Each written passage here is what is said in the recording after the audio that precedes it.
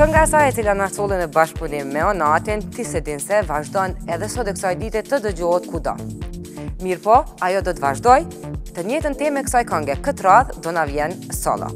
Para se të publikojë këtë këngë, ajo do na sjellë dhe një tjetër bashkëpunim me një anëtar të po të njëjtit label Babastars, e këtë radhë vjen me Skivin. Në vazhdim e ndjekim këngëtaren nga mama Shqipëri Samanta Karavello, e cila na shpalos më shumë detaje rreth jetës së saj dhe punës. E ndjekim bashkë në vazhdim.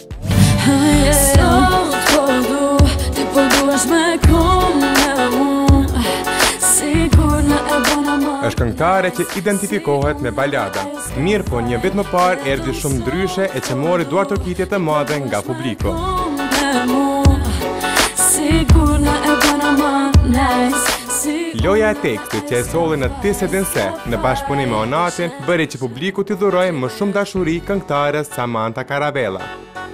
Po bëshes, bëshes, idiot, idiot, tribet, tribet, idiot. Por meqenëse ky projekt hapi shumë dyer për të, Samanta ka vendosur ta vazhdojë akoma më shumë temën e kësaj kënge.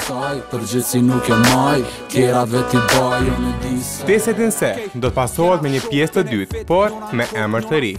Mendova se do të bëj një një vazhdim i këngës Ti s'e din se, pasi kur kam qenë studio te Kids Are Torch, kam dëgjuar një projekt dhe më ngacmoi për vazhdimin e këngës dhe nuk u mendova shumë gjatë, u bë a e din se. Loja tashmë është dhe më interesante, po nuk duhet të zbuloj shumë për atë projekt. është jeta jeme edhe Me di se Sot po du Ky ishte projekti i parë që do lançohej këtë verë nga këngëtarja, por një bashkëpunim i ndryshoi mendjen.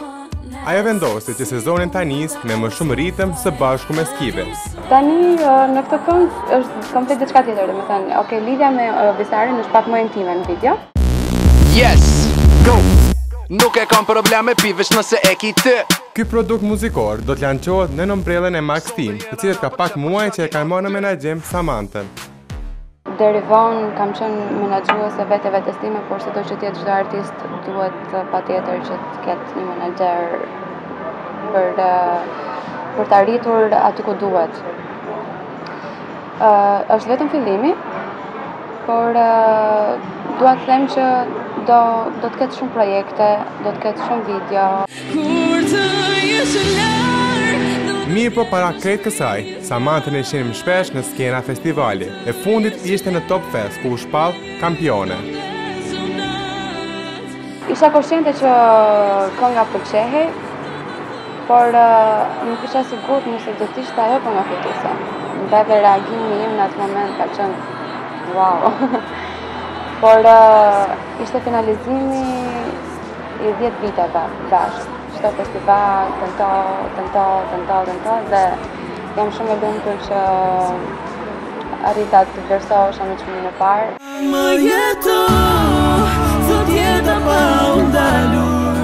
Baladat e kënduara nga Samantha gjithmonë kanë pasur një mesazh sensitiv brenda, e gjithë kjo për shkak të lidhjes që ka ajo me këto këngë. Ajo që më pëlqej përgjithësisht është janë ato këngë që ë uh, Unë kam thënë diçka në atë këngë, që ka një fabul, që nga ato këngë që nuk i dëgjon vetëm sot, por që i dëgjon gjithmonë.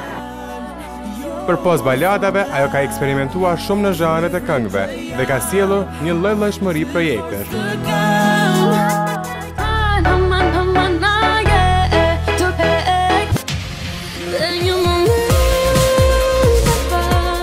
Të njëjta gjini muzikore, por edhe më shumë ndryshime do të jenë në albumin e saj, që tashmë është prioritet.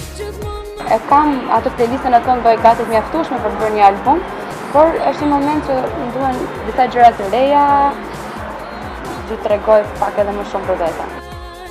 Shumë impenjime në jetën profesionale kanë bërë që në atë private të mos ketë ndonjë risi. Statusi i saj mbetet. Nuk është aq interesante jeta private në krahasim me atë që po ndodh me karrierën time.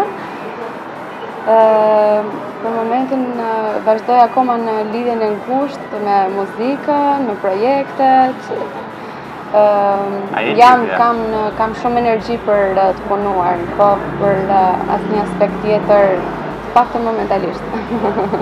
Pra për momentin Samanta single dhe e përqendruar, përqendruar po. muzikë. Po. Përderisa nuk ka një partner në jetën personale, në anën muzikore, ajo sot publikon bashkëpunimin me Skivin, SS. E ndërsa, menjëherë vjen, Ai e din se.